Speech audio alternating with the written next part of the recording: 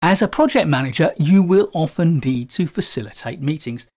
So in this video, we'll look at the basic disciplines for how to facilitate a meeting.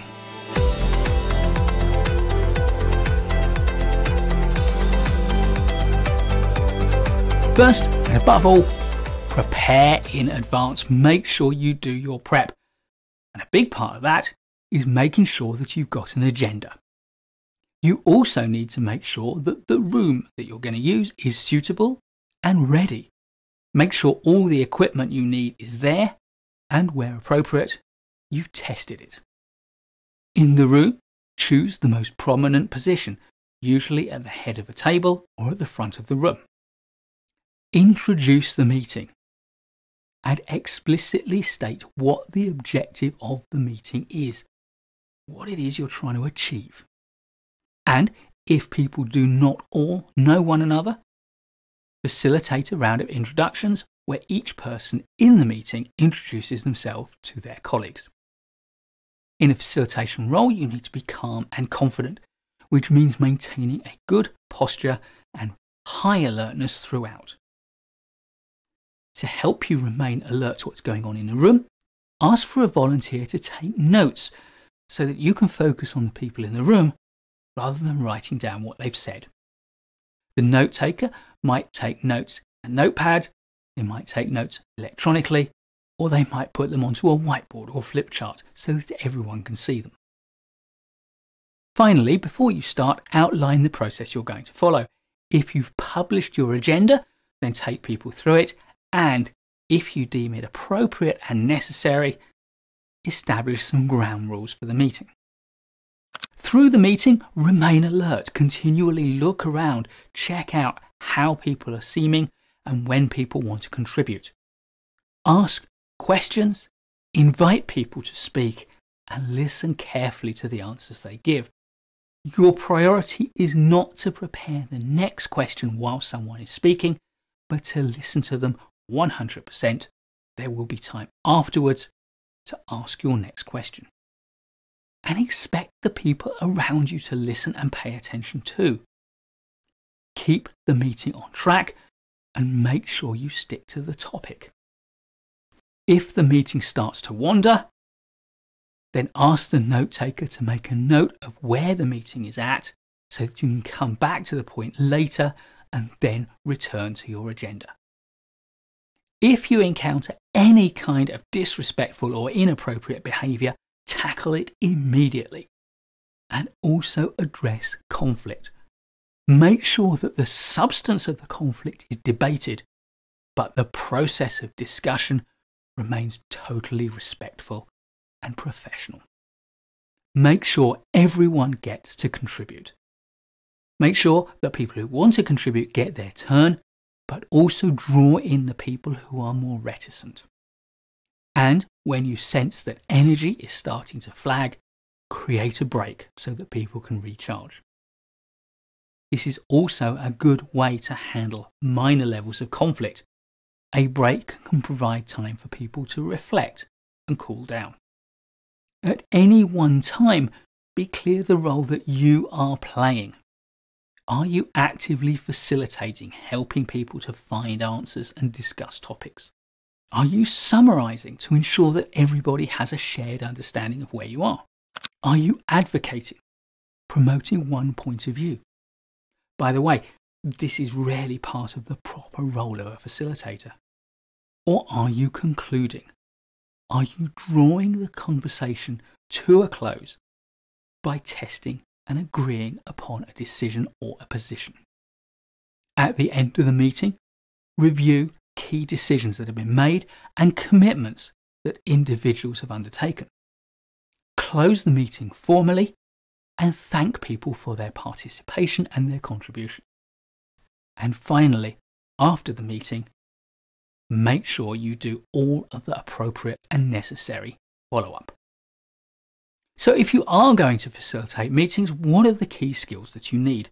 Well, there are a good number of them, and some of the most important are these. First, I'd say listening, the ability to listen carefully to what is being said, to put yourself and your own thoughts out of the way, and process the information completely. Secondly, asking questions. I place this after listening because you will understand the best question to ask only if you have listened to what's been said before. Because often the question will move the conversation or the discussion on. If you haven't been listening, there's a chance you'll just ask a question that doesn't have the impact that you want. And linked to that is observing the mood in the room, keeping an eye on each individual, sensing how they're feeling and when they want to contribute, when they're upset by what's being said, when they disagree, when they agree, when they're getting a little bit frustrated. Unless you can read the room in this way, you can't call upon the right people at the right time and make sure everybody feels heard and respected. And that is largely about balancing perspectives, making sure you hear all of the different points of view so that everybody feels that their thoughts, their perceptions are being fully recognized and respected by the group as a whole. A particularly challenging part of the facilitating role is drawing out contributions, ideas, perceptions, and thoughts from the people who are particularly reticent. There will always be some people in the group who are shy or don't want to contribute for one reason or another. But that doesn't mean that they haven't got a lot to contribute. They're not having good ideas or possibly not recognizing things that other people haven't acknowledged and taken properly into account. And talking about these slightly less confident colleagues, we sometimes need to be able to protect them from derisory comments, not necessarily intended to be disrespectful, but the sort of comments that can discourage them from making further contributions. And this, of course, leads us to the possibility of conflict. You need the skill to deal with it adroitly, to diffuse the conflict and make sure the points of view get heard without the egos feeling too bruised. And finally, the last two skills are to summarize effectively what's been said and to synthesize different points of view, different perspectives, information from different areas into a coherent whole. And I'd like to end with a checklist of eight of my favorite techniques to use while facilitating. None of these are advanced techniques, they are all very simple techniques that you can apply in many contexts. And the first, you use at the start of the meeting. It's kind of like a pre meeting check in, asking people how they feel, what is on their mind at the moment. Because sometimes there will be something important that is bothering a small number of people in the meeting that if you don't deal with it before you dive into the main meat of the meeting, those people won't be able to concentrate properly. So at least let them get it off their chests and record it possibly onto a flip chart or a whiteboard so that everyone is aware of it and you have been able to suggest how you will return to that topic at an appropriate time. And of course, sometimes in a fast moving project, you might want to scrap the original purpose of the meeting and deal with that critical, urgent, and important topic instead. The next technique is what in the UK is usually known as a round robin. I think in the US it's called a go round, and that is making sure everybody gets to contribute by literally calling on each person in turn to contribute. One technique or two. However, you like it, a colleague of mine introduced me to the idea of having a card for every person. On one side of that card was a picture of a black hole, and on the other side was a red herring. A red herring is when the conversation moves onto a topic which is totally irrelevant. In British idiom, a red herring is something that is irrelevant. A black hole represents when a conversation circles around a drain, it keeps going round and round and round, getting sucked into something without making any progress. Those cards are fantastic. If anyone in the group believes that we're talking about something that doesn't matter, they can play the red herring card. If they believe that we're going round in circles without making progress, they can play the black hole card. And if anyone else plays the same card, that's it. Your role as a facilitator is to acknowledge where we are and to restart the meeting from a new appropriate place. A big favourite of mine is to create time for silent reflection at the end of a part of a meeting or possibly before another start to the meeting.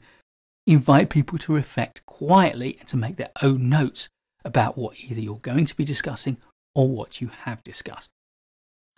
Everyone enjoys a bit of brainstorming, but it really isn't that effective. I prefer brain writing. Get people to write all their ideas, one idea per card or per sticky note, and then to contribute all of their ideas into the centre or onto a flip chart or whiteboard so that everyone can see them. That way, you can get a lot more ideas in a lot less time. It's less intimidating to people who are less confident about speaking up. And also, the first ideas that are often contributed to a brainstorming process can influence the ideas that other people contribute and therefore bias the conversation. With brainwriting, because it's all happening in parallel and silently, you don't get that bias effect. A very simple technique that I always use is to have a big sheet of paper or a flip chart sheet on the wall labeled car park. And any topics that come up, which are important but not relevant to what we're discussing, get noted on the car park. That way, everyone in the room is confident that you haven't ignored it. And at the end of the meeting, you can go back to the car park and decide what you're going to do as a group about each topic that has been parked there. If it's a big meeting, a great way to make fast progress is to split the meeting into small groups and to get all of those groups working in parallel.